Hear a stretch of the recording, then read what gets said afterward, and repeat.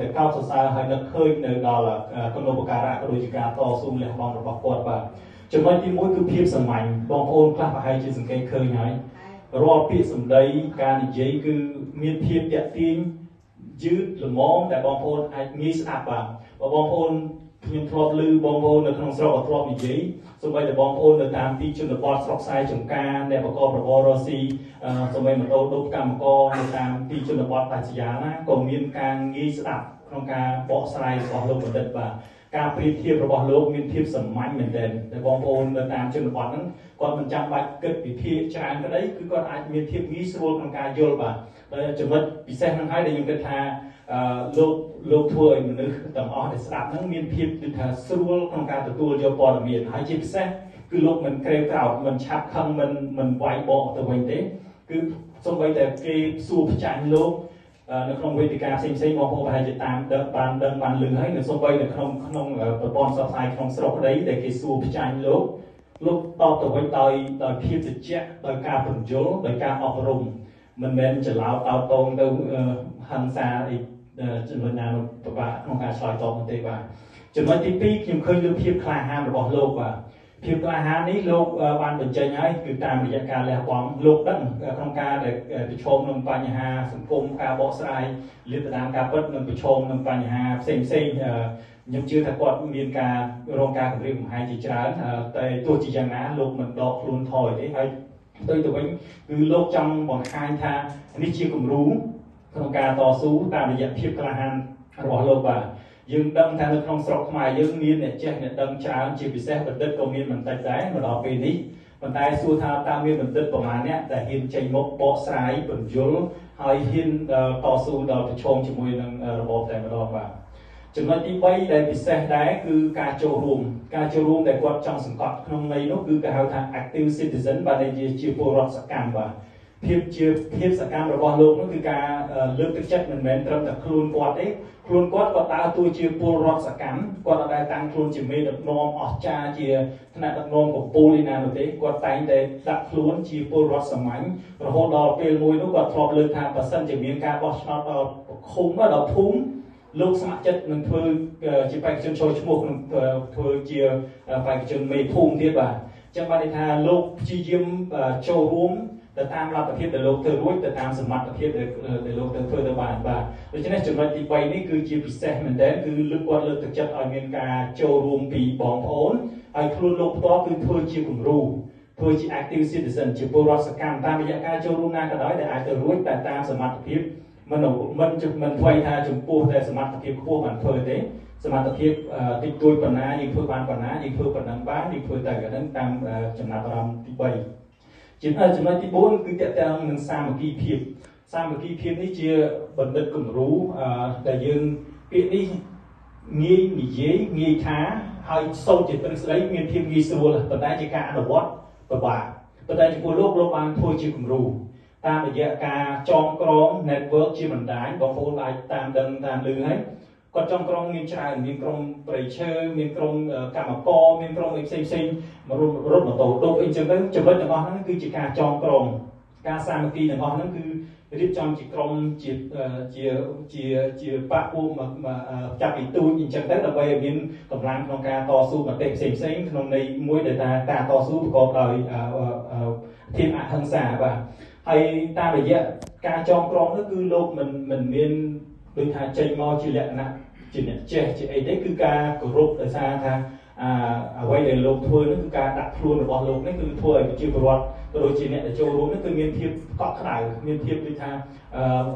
ងាយស្រួលក្នុងការចូលរួមតាមរយៈការចងក្រងបណ្ដាញផ្សេងផ្សេងហ្នឹងបាទចំណុចទី5គឺភាពជាមេដឹកនាំទោះបីលោកជាអ្នកចេះជាដឹងហើយលោកដាក់ខ្លួនមែនតើប៉ុន្តែតាមពិតលោកមានភាពជាមេដឹកនាំ ខ្ពស់មែនទែនដែលយើងមើលទៅថាសាមញ្ញប៉ុន្តែពិបាកនឹងធ្វើ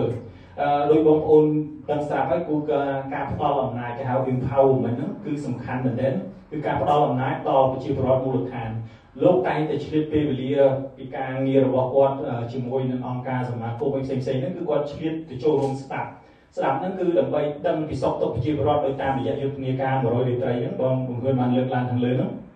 គឺការផ្ដល់អំណាចដល់ប្រជាពលរដ្ឋព្រោះការទៅតាមស្ដាប់ប្រជាពលរដ្ឋដល់មូលដ្ឋាននឹងហើយដែលយើងអាចដឹងពីសុខទុក្ខដឹងពីបំណងប្រាថ្នាអ្វីដែលជាការចង់បានរបស់ប្រជាពលរដ្ឋបាទហើយភាពជាអ្នកដឹកនាំនេះគឺការការលះបង់ខ្ពស់មែនទែនការលះបង់បងប្អូនដឹងស្រាប់ហើយការចូលទៅព្រៃឡង់ទៅទៅ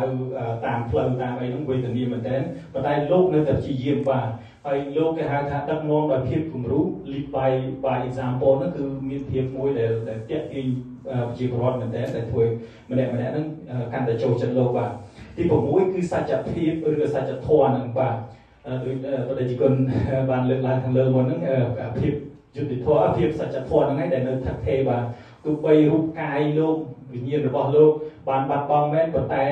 ពាក្យពិតរបស់លោកនៅតែថឹកថេរគង់វង្សក្នុងកៅអៅបេះដូងរបស់ បងប្អូនដែលជាអ្នកស្រឡាញ់ជាតិស្រឡាញ់ប្រជាធិបតេយ្យទាំងអស់ហ្នឹងគឺនៅតែថិតថេរចំណិចបាទហើយជាពិសេសទោះបីប្រឈមការលៀបពណ៌ពីគ្រប់មជ្ឈដ្ឋានមិនថាមន្ត្រីការអំណាចឬមន្ត្រីបកណាឬក្រុមណាទេដែលព្យាយាមបន្សាបឥទ្ធិពលរបស់លោកគឺលោកមិនដែលតបតដល់ដោយភាពក្រីក្រោធភាពហិង្សាភាពជេរប្រមាថលៀបពណ៌តបតវិញគឺអត់ទេគឺបកស្រាយទៅតាមអ្វីដែលតាមរយៈការសិក្សា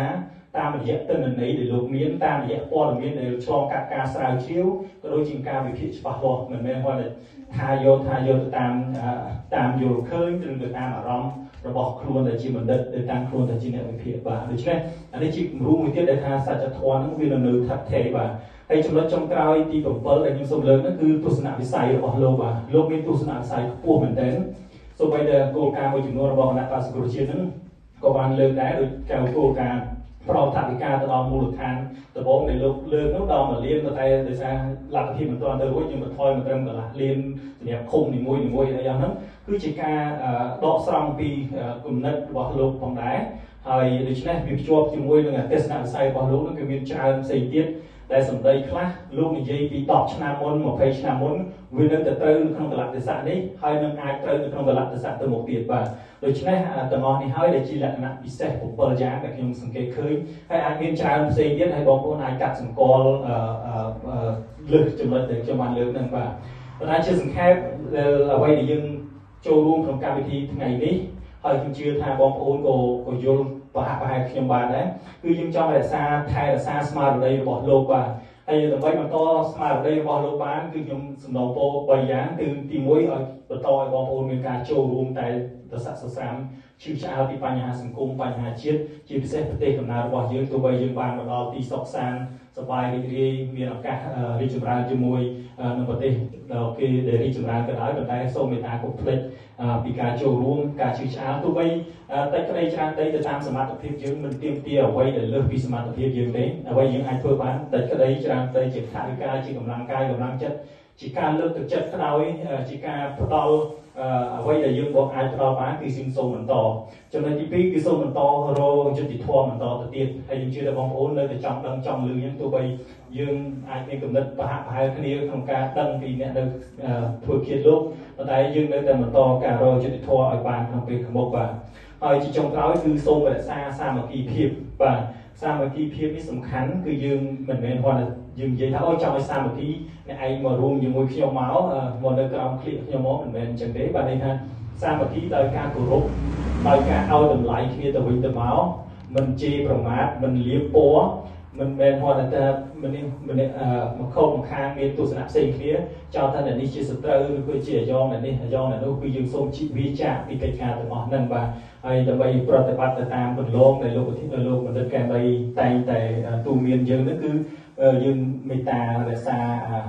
សុជីវធម៌ភាពភាពថ្លៃថ្នូររបស់យើងជាជាជាតិមួយដែលមានរយៈធម៌ពងពោះពីបុរាណមកនោះដូច្នេះយើងសូមមេត្តារក្សាសាមគ្គីភាពតាមរយៈការគោរពនឹង ជៀសវាងការជាប្រមាថយីពណ៌ហើយបន្តរក្សាសាមគ្គីយើងឲ្យបានគង់វង្សទៅមុខទៀតបាទអឺសូមដោយសារពេលវេលាយើងខ្លីតិចហើយខ្ញុំមិនសឹកខែទៅវារៀងវែងដែរបាទហើយដោយសារតែហើយយើងមានវាគ្មិនពី3រូបទៀតបាទហើយដោយសារហើយនេះក៏យើងមានវាគ្មិនពិសេសគឺជោគាត់ក៏ជាសមាជិកក្រុមប្រឹក្សាក្រុមតកូ